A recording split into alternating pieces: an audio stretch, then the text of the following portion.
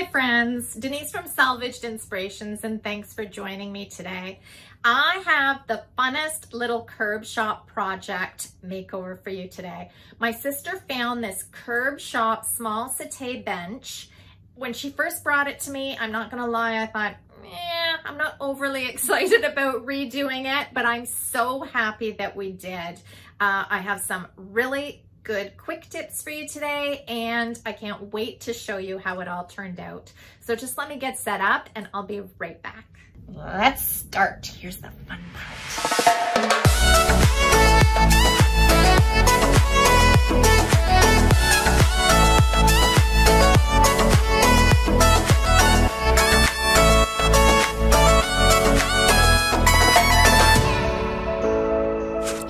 Curb shop settee bench we started with. It was structurally sound but needed a really good cleaning and reupholstering. The fabric smelled quite smoky and there was bird droppings on it to boot.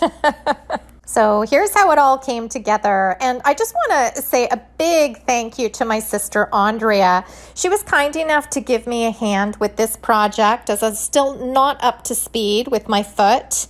Um, so I don't know what I would do without my sister. And sister's the best. I started by cutting off these old dirty tassels. And then I removed, or we removed the old seat using an impact driver, which makes it super easy. After we removed the seat from the base, I gave the body of this bench a really good cleaning with white lightning, which is a TSP substitute.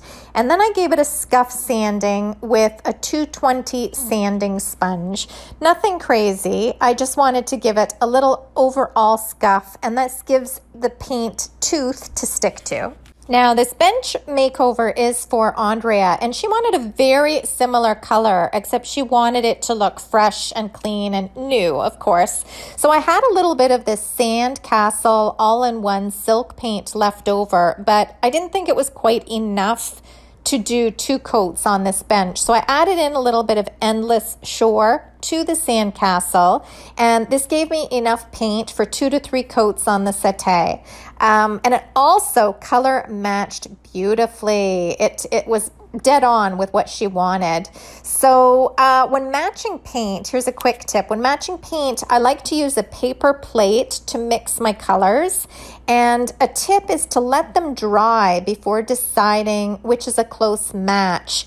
You can also use a color match app like Dixie Belle has here I'll show you what it looks like on screen and I'll also add the link down below for you if you want to go play around on it. They are a lot of fun. You can mix and match colors and play around with uh, a specific color if you want. It'll tell you which paints to use to get that spec specific color. Uh, so they're a lot of fun to use. And most large paint brands, for instance, Benjamin Moore, Sherwin Williams, etc., they have these apps on their site as well. And these are all free to use. And they're not only fun, the accuracy is impressive. To make new arms for this settee bench, we repurposed old chair spindles. And I have to say, I love the way these came out. Each spindle or chair spindle had a hole in it, which I'll share how to cover that up easy peasy in, uh, in a little bit. So stay tuned. And it was slightly too long for the bench to fit in properly. So we started by picking the chair spindle that had a nice shape and that we like the looks of. Then I measured each, each side with a measuring tape and it was 11 and a quarter inches long. I cut the chair spindle to size using my miter saw and then we installed the arm by using a large screw through the hole on the body of the bench and then through the actual armchair. Now, I will say that if this bench, if I was doing this bench for sale, I wouldn't have done it this way. This is really a quick and dirty way of attaching these arms to, to the bench settee. Uh, however, just because it's going to be for my sister and she wasn't overly particular, this worked out perfect. To hide the holes on the chair spindles and the holes on the frame, It was Woodubend to the Rescue. And I've made a good few videos on Woodubend, and it's no secret how much I love this bendable wood. Uh, I keep all the little bits and pieces of Woodubend because they not only hide imperfections, but they make everything look beautiful. Woodubend appliques are bendable once they're heated. You, you, can stain them, you can paint them, you can cut them, you can shape them and mold them to whatever you're gluing them on. Uh, they're really remarkable what you can do with these with with Woodubend. And I'll leave the link in the description down below. I'll also leave a card up above so you can see how to apply these Woodubend appliques as well. Aren't these sweet floral roses super sweet? And look how perfectly they disguise the hole. Although this paint is an all-in-one, so the top coat is also included, I decided to use a clear wax over the entire piece. And this was not so much for protection, because as I mentioned already, it has the top coat included, but it was to provide a base coat for some darker wax. And here's a quick tip. Whenever you want to highlight details with a darker wax, be sure to use a clear wax first.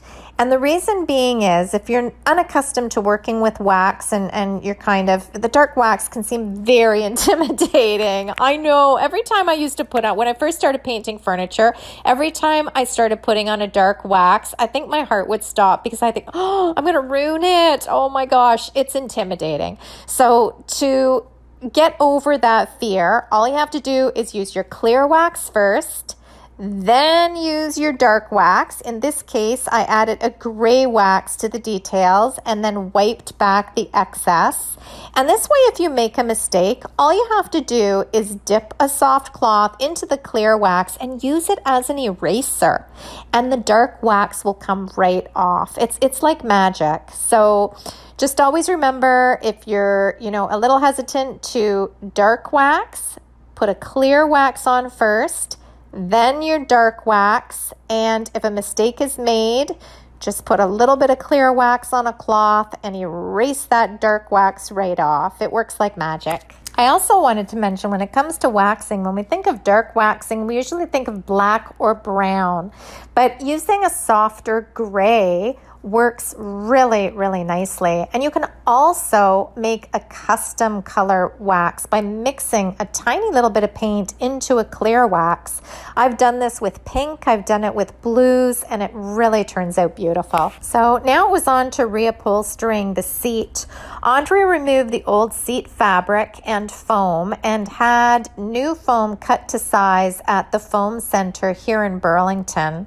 And here's another little tip for you. If you have a local foam center in your area, be sure to check it out when doing these type of projects. Uh, for $11, we had a one inch piece of foam cut to the shape of our board and glued on for us. And that's remarkable because when we went to Fabricland for the exact same size, they were selling for $24 and we would have had to cut it ourselves and we would have had to glue it ourselves. So if you have a foam center in your area, it's well worth checking it out. Uh, to recover the new seat, Andrea cut the batting to size um, leaving about an extra six to eight inches all around the edges.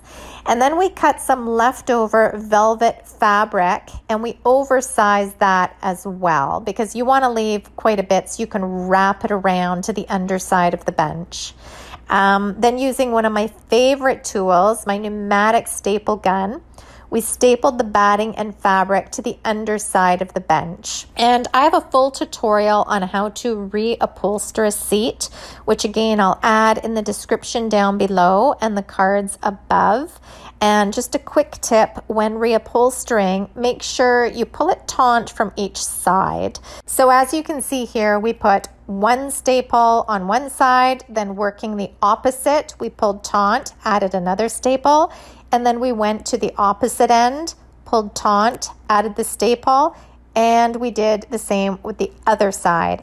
And then, and only then, we actually flipped it over, made sure it all looked good, then flipped it back over and started adding in all our staples around the sides. Thank goodness there's a visual for this because I don't know if I described that properly, but I hope you get what I mean.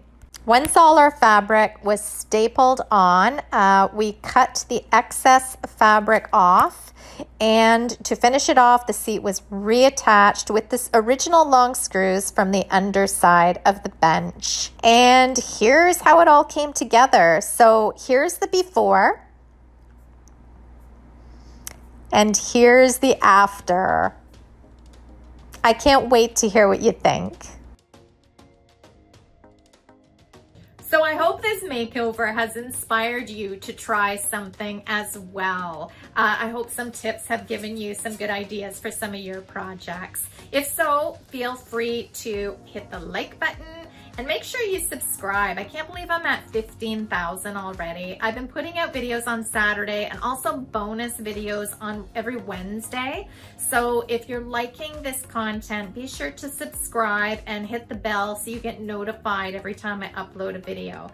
You can also find me over at salvagedinspirations.com where I have over 500 furniture painting tutorials teaching you how to make your furniture beautiful and also on all my socials. And if you're hearing this squeaky, oh my God, my apologies because I have this, I can't even lift my leg. I have this boot on because uh, you guys, some of you may have known I broke my foot. You might even see the cane over in the corner. So I have to sit on my little mechanic's chair, but it's making all these squeaky noises. So I'm sorry.